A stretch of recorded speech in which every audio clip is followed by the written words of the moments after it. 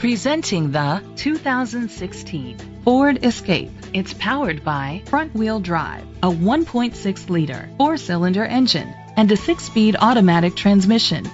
The features include a turbocharger, a spoiler, independent suspension, brake assist, traction control, stability control, front ventilated disc brakes, anti-lock brakes, privacy glass. Inside you'll find internet connectivity, Bluetooth connectivity, Ford Sync voice activation, Sirius XM satellite radio, remote start, steering wheel controls, curtain head airbags, driver airbag, side airbags, low tire pressure warning.